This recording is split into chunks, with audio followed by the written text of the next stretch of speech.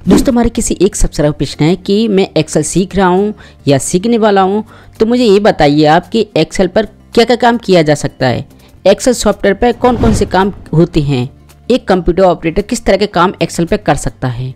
दोस्तों, आपका भी इस तरह का प्रश्न है। आप भी एक कंप्यूटर ऑपरेटर हैं या कह सकते हैं कंप्यूटर सीख रहे हैं। आपके मन में प्रश्न चल रहा है कि एक्सेल सॉफ्टवेयर पर क्या क्या काम किए जा सकते हैं। हम कौन कौन से काम कर सकते हैं या एक्सेल पे होते हैं? तो इस प्रश्न का जवाब जानने के लिए इस वीडियो को कंटिन्यू क्लास तक ज़रूर देखें।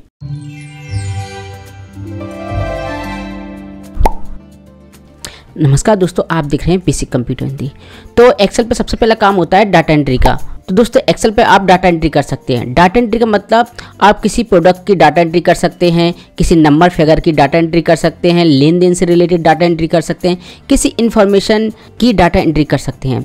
जैसे कि स्कूल में आप काम कर रहे हैं या, या एजुकेशन विभाग में आप काम कर रहे हैं तो वहाँ पर डाटा मिलता है स्टूडेंट के विद्यार्थियों का तो वो आपको डाटा फ़ीड करना होता है उनकी एंट्री करनी होती है एक्सेल के अंदर। ठीक है तो आप डाटा एंट्री कर सकते हैं एक्सेल के अंदर। दूसरा यहाँ पर डाटा स्टोर डाटा स्टोर जैसे कि आपका प्रोडक्ट है, या किराना का आइटम है, या मटेरियल्स या टूल्स हैं, उनके एक एक आइटम को एक्सेल की सेट के अंदर फ़ीड करना डाटा का स्टोर करना तो इस तरह के काम डाटा स्टोर के अंतर्गत आ जाता है। तो जैसे कि आप किसी कंपनी में जॉब करेंगे, किसी शॉप पर जॉब करेंगे, या आप शिक्षा विभाग में करेंगे तो वहाँ पर डाटा दिया जाता है। तो डाटा को फ़ीड करना डाटा स्टोर के अंतर्गत आता है।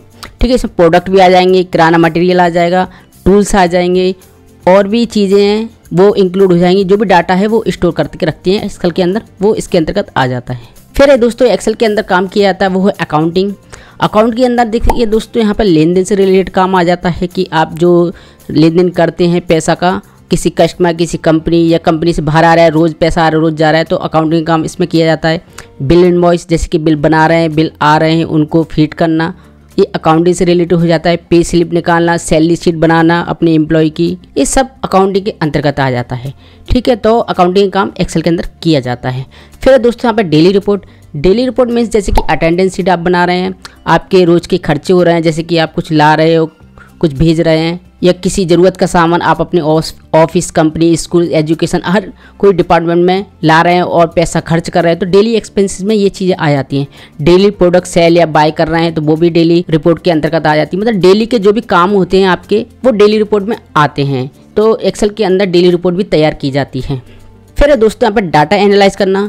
जैसे कि आप किसी कंपनी में जॉब करते हैं या किसी शॉप पर जॉब करते हैं तो वहाँ पर प्रॉफिट एंड लॉस देखा जाता है कि कितना प्रोडक्ट सेल हुआ है, कितने आइटम सेल हुए हैं, कितना खर्चा हुआ है। तो पूरा डाटा एनालाइज किया जाता है। प्रोडक्ट सेल एंड स्टॉक देखा जाता है। स्टॉक में आपको कितना मात्रा में कितने आइटम में प्रोडक्ट बचे हुए हैं, है ना? तो ये सब डाटा एनालाइज के अंतर्गत आ जाता है। जैसे कि हम उसे बोलते हैं विश्लेषण, है ना?